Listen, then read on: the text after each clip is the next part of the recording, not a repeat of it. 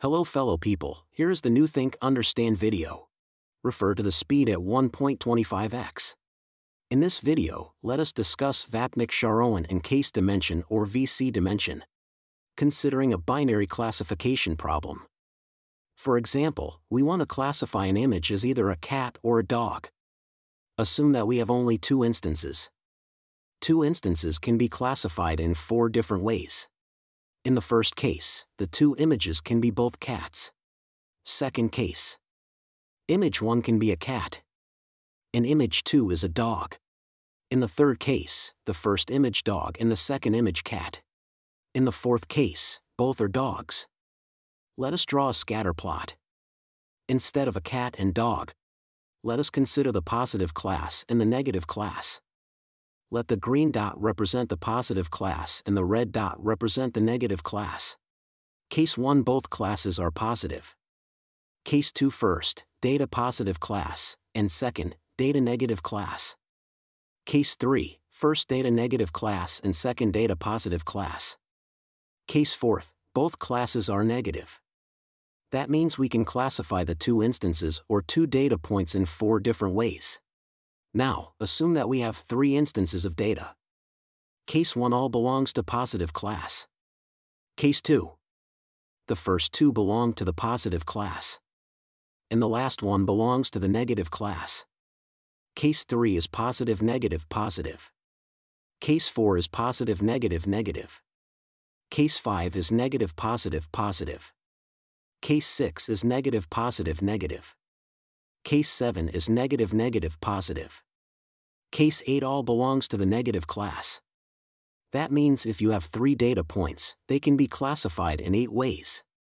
In general, if you have n data points, they can be classified into 2 raised to n in different ways.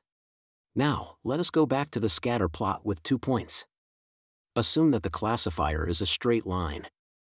Let us check whether the two data points can be correctly classified using a straight line. Take case 1 draw a straight line below the two points. The model classifies all the points above the line as positive class and below the line as negative class. That means the two points are correctly classified in this case. Take the second case, and draw a line between the two points. Again, the points are classified correctly.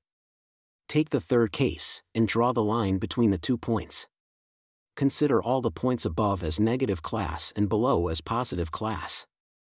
Again, the points are correctly classified. In the fourth case, data points can be correctly classified by drawing the line above the two points. That means it is possible to draw a line that separates positive and negative points in all four cases. We can say that the straight line or the linear functions are expressive enough to shatter two points on a two-dimensional plane. What do you mean by shattering? A set of endpoints is said to be shattered by hypothesis space H if there are hypotheses in H that separates positive examples from negative examples in all of the 2 raised to n possible ways.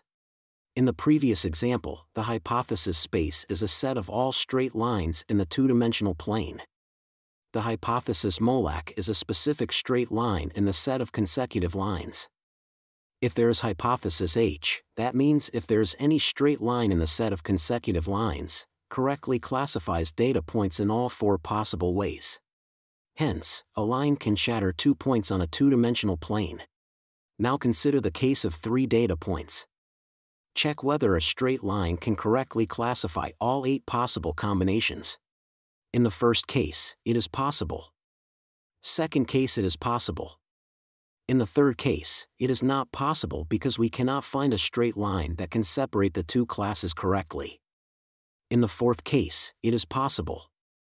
Fifth, the case is possible. Sixth, the case again not possible. Seventh case, it is possible, and eighth case, also possible. In this example, out of the eight possible ways, two cases cannot be correctly classified using a straight line. Now let us have another set of three data points. Check whether it is possible to classify using a straight line. In the first case, it is possible. All points above the line are positive and below the line are negative. In the second case, again possible. All the points below the line are positive, and those above the line are negative. In the third case, possible. In the fourth case, possible. In the fifth case, possible. Sixth case is possible. Seventh case possible, and eighth case, also possible. We say that a straight line can shatter three data points in a two-dimensional plane. It may not be able to shutter every possible set of three points in two dimensions. There may be some set of points that may not be shuttered, but it is enough to find one set of three points that can be shuttered. Now consider the case of four points. There are 16 different ways of classification here.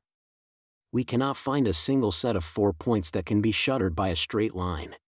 That means the maximum number of points in a two-dimensional plane that can be shuttered by a straight line is 3 we say that the VC dimension of a straight line in a two-dimensional plane is 3.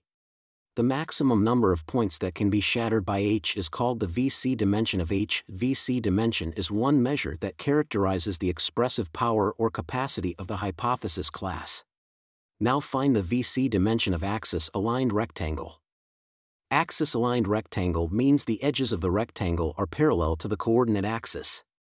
Take two data points we assume all the data points inside the rectangle as positive and outside the rectangle as negative.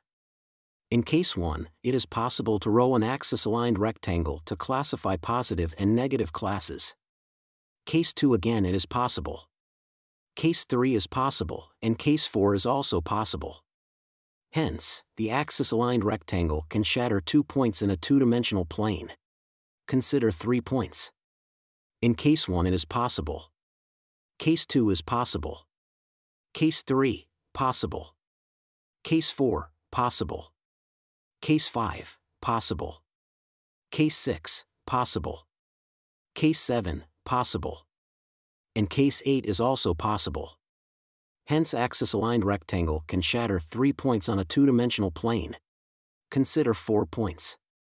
In case 1, it is possible. Case 2 is possible. Case 3, possible. Case 4, possible. Case 5, possible. Case 6, possible. In case 7, it is possible. Case 8, possible. Case 9 is also possible. Case 10 is possible. Case 11 is possible. Case 12, possible. Case 13, possible. Case 14, possible. Case 15, possible. And case 16 is also possible. Hence, the axis-aligned rectangle can shutter four points on a two-dimensional plane. We cannot find any set of five points that can be shuttered by an axis-aligned rectangle. Since 4 is the maximum number of data points that can be shuttered by an axis-aligned rectangle. The VC dimension of the axis-aligned rectangle in the two-dimensional plane is 4. Please let me know if you understood. For more interesting videos, please subscribe and hit the bell icon. Thanks for watching.